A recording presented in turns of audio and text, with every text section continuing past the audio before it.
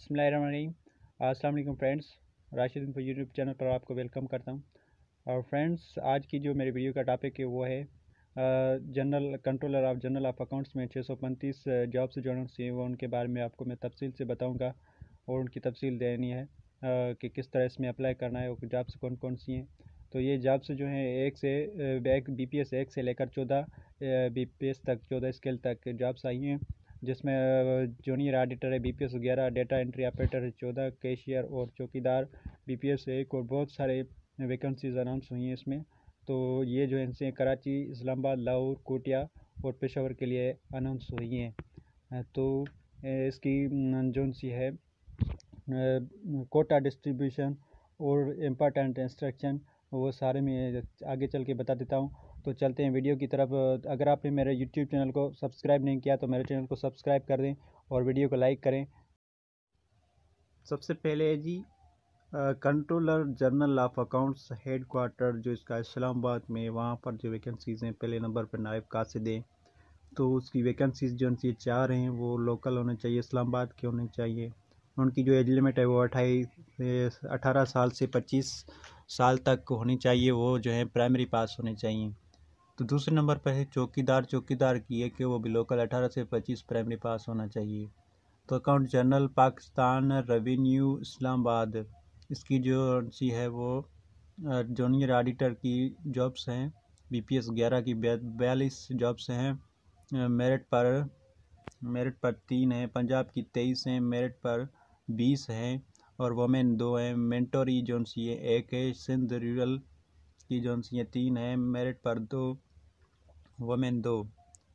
तो यहाँ पर मेंटोरी एक है, सिंध अरबन दो हैं और के पी के पाँच है, मेरिट पर चार हैं। तो मेंटोरी एक है, बलोचिस्तान दो हैं, आज़ाद जम्मू कश्मीर के लिए एक है। तो जूनियर एडिटर के लिए जोन सी अठारह से पच्चीस साल उम्र होनी चाहिए होनी चाहिए और इसकी जोन सी है क्वालिफ़िकेशन है वो second class bachelor degree in degree in commerce for HEC recognized board or university computer uh, literate with typing uh, speed 30 word per minute. तो accounts general Pakistan revenue sub office Karachi के लिए junior director की जो jobs हैं वो चौदह हैं। तो सिंध अरबेन छः हैं तो इसके लिए जो सी है अठारह से पच्चीस साल उम्र होनी चाहिए। तो फ्रेंड्स, सबसे ज़्यादा जो वैकेंसीज़ हैं, वो जूनियर एडिटर की हैं, ज़्यादा से ज़्यादा जूनियर एडिटर इनको रिक्वायर्ड है। तो नायब कासिद इनको रिकैड हैं, और भी जो उनसी वैकेंसीज़ हैं, वो इनको रिकैड हैं। तो पाकिस्तान के मुख्तलिफ़ सिटीज़ हैं डिफरेंट सिटीज़ हैं, उनमें से बहुत सारे और इनकी ऑफ़िस हैं। चारों सूबे हैं, पाँच पाँच इन छः इनके जो ऑफ़िस हैं, वहाँ पर इनको ज़्यादा से ज़्यादा जूनियर एडिटर की ज़रूरत है। तो मैं आपको जो है अभी इंपॉर्टेंट इंस्ट्रक्शंस पे लेकर जाऊँगा वो पढ़ के बताऊँगा कि उन्होंने उसमें क्या क्या लिखा है क्या क्या जो है उनकी रिक्वायरमेंट है, कैसे जो जो है फार्म को भेजना है, किस तरह से फिल करना है, वो मुकम्मल डिटेल जो है मैं आपको बताने वाला हूँ। तो चलते हैं इंपॉर्टेंट इंस्ट्रक्शन की तरफ़। वो यहाँ पर यहाँ पर लिखा हुआ है पहले नंबर पे application form should be submitted on the address mentioned against each office along with attested copies of all documents यहाँ पर जो लिखा है, इसका मतलब है कि आपके जो एप्लीकेशन फार्म है, वो ऊपर बताई गई एड्रेस ऑफ़िस की एड्रेस पर भेजना है डॉक्यूमेंट्स की अटेस्टेड कापीज़ के साथ। यहाँ पर लिखा हुआ है कि दूसरे नंबर पर एक है only short listed applicants will be called for interview तो इसका मतलब ये हुआ कि जो लोग जैसा कि उनको डॉक्यूमेंट से पता लगा देंगे कि ये हमारा अहल ये नहीं अहल है तो उससे वहाँ से वो शार्ट लिस्ट कर देंगे, उनको कॉल लेटर आएँगे कि आप इंटरव्यू के लिए आ जाएँ। तीसरा नंबर है five years general age relaxation as per rules will be available तो पाँच साल जो है एज लिमिट में जो है वो रियायत दी जाएगी। Application already in government applicant already in government service should apply through proper channel जो पहले गवर्नमेंट में जॉब कर रहे हैं तो वो जो उनसे हैं, वो एनओसी के साथ जो है, वो लेकर अप्लाई कर सकते हैं। पाँच नंबर पे applicant may apply for more than one post by submitting separate application form for each post जो एक से ज़्यादा पोस्ट के लिए अप्लाई करने के लिए अलग अलग फॉर्म होना चाहिए।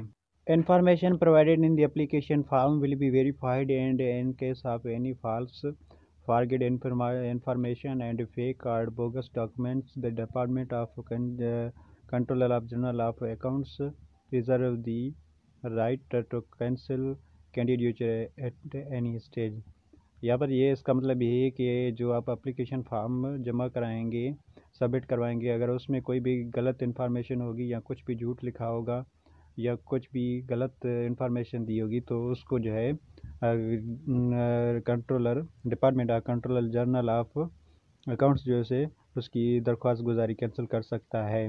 तो आठवें नंबर पर the department of controller general of accounts reserve the right to cancel the requirement process and part or whole increase decrease the number of posts इसका मतलब ये है कि जो डिपार्टमेंट ने इश्तहार जारी किया है, ये कभी भी जो है इसको कैंसिल कर कर सकते हैं या जो है पोस्टों में इजाफा या कमी पेशी हो सकती है। ये बात फिक्स नहीं है कि इतनी वैकेंसीज होंगी और ये जॉब्स जो है पब्लिश होंगी। ये बस इश्तहार है, ये ऐसे बात कर रहा है कि नोट ये D A will be advisable for the of test interview कुछ भी खाने पीने के लिए कुछ भी नहीं दिया जाएगा कोई डी नहीं होगा इंटरव्यू या टेस्ट के दौरान।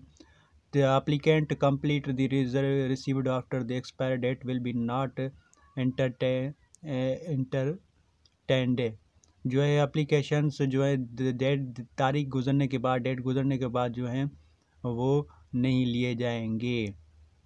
या उन पर कोई तोजह नहीं दी जाएगी। ग्यारह number, the selected candidate may be posted in Pakistan.